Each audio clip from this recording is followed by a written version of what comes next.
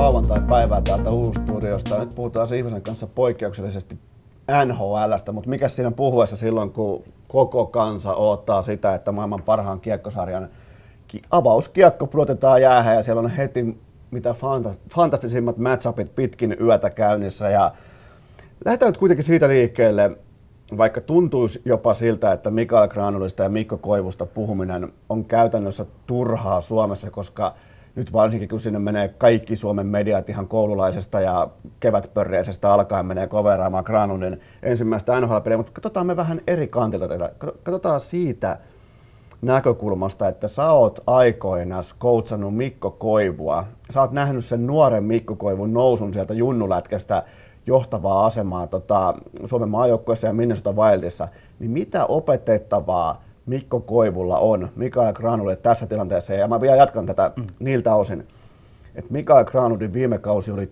todella raskas. Hän menetti pelihuumorinsa, hän paloi loppuun, hän menetti jalkansa. Miten Mikko Koivu käsittelee tällaista pelaajaa, joka on aika haurassa kunnossa tällä hetkellä?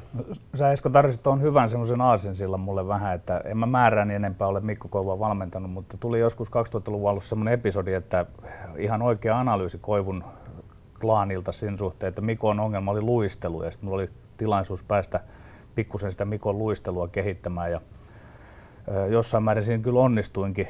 Ja tota, Granlundin ongelmahan on juuri tämä luistelu. Ja, niin. ja ihan on hauska tässä niin mietiskellä hengessä ja pohtia, että mahtaisiko ihan tämmöinen konkreettinenkin asia olla, että mitä se Mikko Koivu voisi jeesata siellä Granlundille. Että, että kiistatta siinä on pien, pien, hiukan sitä samaa semmoista suorapolvisuutta, minkä Mikko sai korjattua. Okei, siinä olisi vieläkin vähän korjattavaa, mutta Granlundin täytyy, jos Granlund saa luistelunsa kuntoon, hän kyllä tekee läpimurron tuolla NHL, mutta ilman sitä luistelua se on vähän hankalaa. NHLkin on mennyt semmoiseen, siellä on aika paljon tämmöisiä jopa Granlundin kokoisia pelaajia, mutta niiden luisteluvoima on eri luokassa kuin Granlundin. Meillä on puoli miljoonaa katsojaa tällä lähetyksellä, niin tuskin 499 000 ymmärtää, mitä tarkoittaa suorapolvinen luistelu, joten avaa vähän sitä, että minkälaista on periaatteessa väärä luistelu, tai ei väärä, vaan tehoton luistelutapa jääkekossa? Joo, sanotaan näin, että se, siinä on ne kategoriat, pitää olla niin sanotut kulmat kunnossa, eli nilkan kulma, polven kulma, lonkan kulma.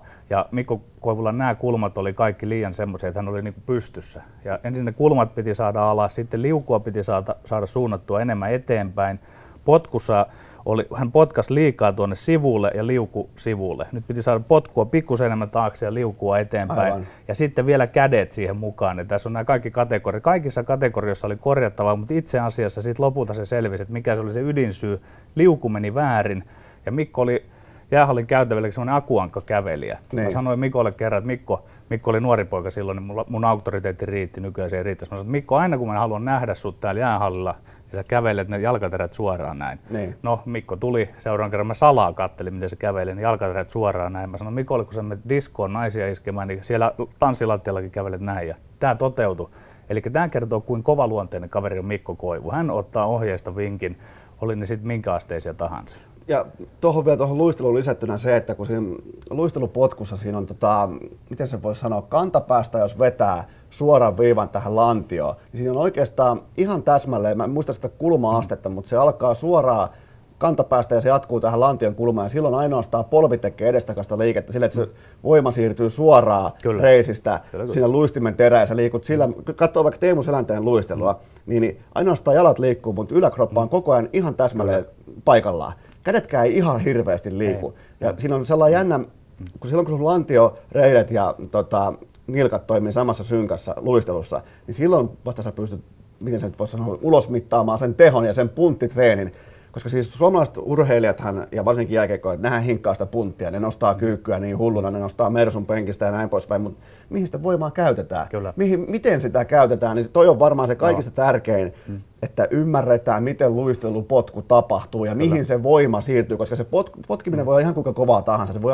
sä voit mm. vaikka kuinka kovalla Pavel Pure askeleella niitä menemään, mutta jos sä potkit väärään suuntaan, niin sä et liiku mihinkään. Se, mm. Ja Mikael Granulin on sama tilanne. On, siinä on sama ja sitten sanoit, sanoit tuossa ihan oikein siitä potkusta tavallaan suhteessa kroppaan, että ää, jos mä nyt nopeasti vielä palaan siihen Mikko Koivuun, niin hänen yläkroppansa meni ylös alas, ylös alas ja heilu toisin kuin sä hyvin tuossa äsken sanoit, että se ei saa niin tapahtua. Ja sitten Mikko Koivulle yritettiin tarjota taitoluistelijoita avuksi.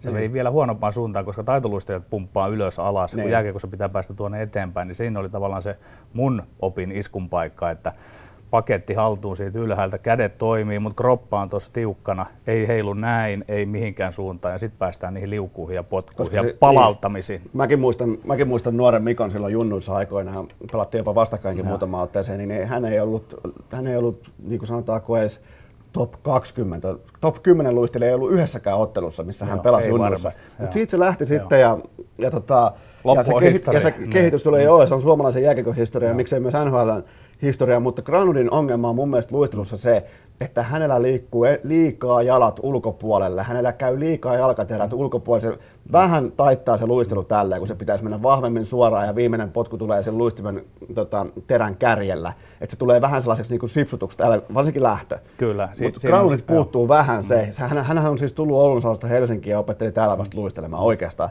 Ja tässä on kuitenkin nyt vasta neljäs vuosi menossa siitä, kun hän opetel, hänet opetettiin luistelemaan. Eli kehitystä voi tapahtua vielä suuntaan jos toisenkin, vai onko väärässä? Olet oikeassa. Ground oli tämmöinen luomuluistelija, että hän on sieltä Oulun Salosta ja Oulusta ja siellä ulkojäällä oppinut sen luistelun, niin kuin moni, moni muukin poika oppii. Tämä on vasta nykyaikaa, että ollaan alettu niin kuin tarkasti kiinnittämään huomiota siihen. Ja tuossakin to, täytyy sanoa, että taas olet oikeassa, että yksi luistelun kategoria on se, että tuonne napaan voi kuvitella sellaisen painopisteen.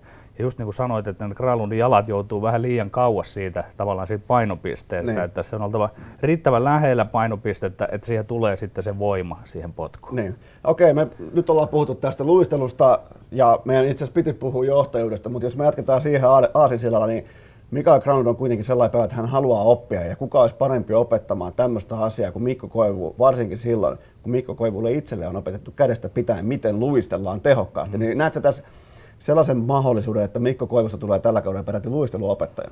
No se jää nähtäväksi, ja, mutta mä toivon, että pojat pikkusen paraa toisiaan siinä luistelussa, mutta että ehkä sitten siellä on niitä isompia kysymyksiä, että että mä näen, että Koivun asema on niin suuri, että hän ei koe, että siinä vielä Mikael Granlund uhkaa hänen asemansa. Ja niin kauanhan siinä varmaan niin kuin Mikko Koivu suostuu kaikessa auttamaan. Ja mä oon kuunnellut siinä Minnosta organisaation lausuntoja, niin kyllä Granlundille on nyt paikka raivattu siellä, että, ja hänelle varmasti annetaan aikaa onnistua siinä, että se on nyt vaan pojasta itsestään sitten kiinni. Me molemmat tiedetään, kuinka kilpailuhalunen ja kilpailu tavallaan, millä kilpailun vietillä Mikko Koivu on höystetty.